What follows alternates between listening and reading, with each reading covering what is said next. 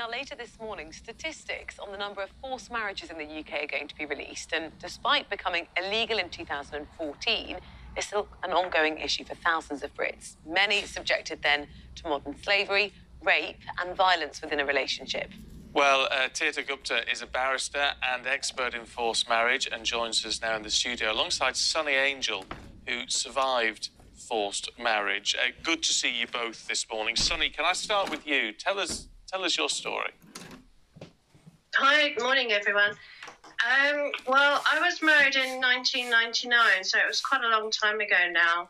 Um, you know, more than 20 years ago. So there wasn't a law then for forced marriage as it is now. So I basically share my story so to give other people awareness. When I was married, um, the guy I was married to, he actually had some uh, mental disabilities. He wasn't actually aware of what was actually happening to him. So he was more vulnerable than I was at the time. So I actually felt quite sorry for him. His mum would actually force him to rape me which was really, really wrong. I mean, it sometimes when we think of forced marriage, we always think about the girls being forced. We don't necessarily think about the boys being forced into marriage. So it's, it's quite a wider you know wider area that needs more awareness about forced marriage and arranged marriage. And i think we need some more light on it because a lot of people with disabilities or learning disabilities get forced into it either to be used to have more you know more children grandchildren or to be used as passports for people to come into the country so, how were you forced into this situation? And uh, this is a situation you managed to escape from. How did that happen? Well, uh, luckily, my parents, um, you know, they were actually quite caring and they brought me back home. Um, unfortunately, that's not the same case for everybody. They don't get to be brought back home uh, to their parents. Um, I, I, actually had a bad situation before uh, I was into the forced marriage. Uh, I had a stalker and uh, I was labelled as, you know, a problem that needed to be fixed. And in the mentality of the Asian community is that if you're a problem to the family, let's just get you married off uh, as a quick fix. But a lot of mentalities are changing, but sadly for many, it's just get them married off. You know, let them be someone else's problem, which is not the answer. It's no, it, it, it isn't the answer, Teertha. I mean, what are we expecting these figures to show when they come out at half nine this morning? I mean, th- there should have been, since this was made illegal, there should have been a significant drop in forced marriages, surely. Well, it's all about um, availability for people to be able to uh, access resources, to be able to talk to the forced marriage unit. But I'm ex- expecting the statistics to go down because of the pandemic. In other words, less weddings, mm. less travel. But yes, this is a problem that's been going on for many, many years. Uh, it's a matter of brave people like Sunny being able to go out in the outreach programs and talk to people and say, this is wrong. Something needs to be done about this.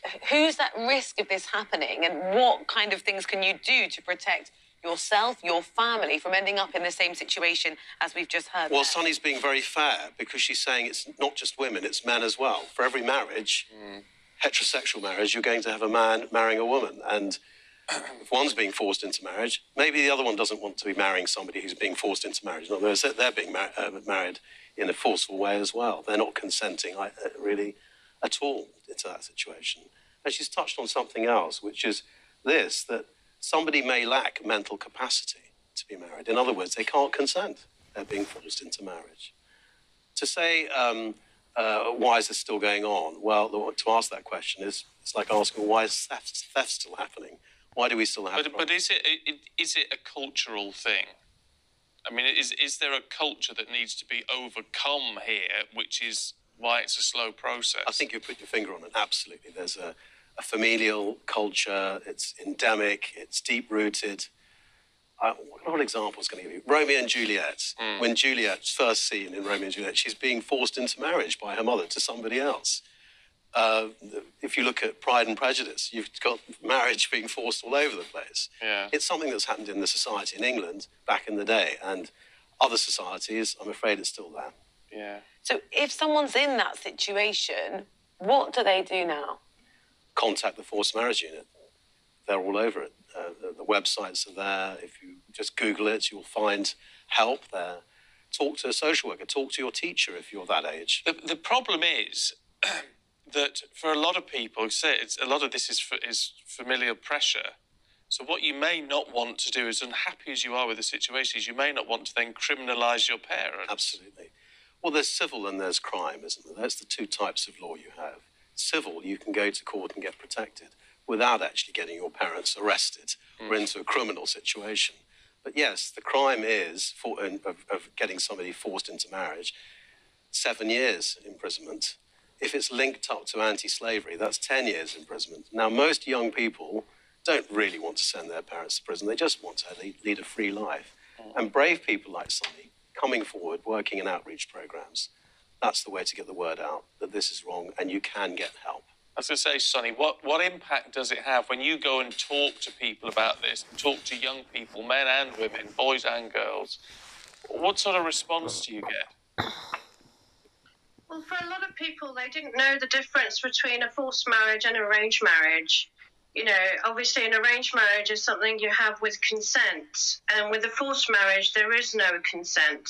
So, like, if you don't have consent to the actual marriage, you're not having consent to what follows. Like, you know, like what follows is having children. So, if you're not consenting to the marriage, you're not consenting to a sexual relationship.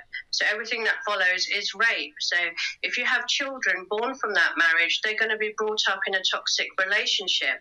They're not going to see love. So they're going to grow up thinking this is all normal.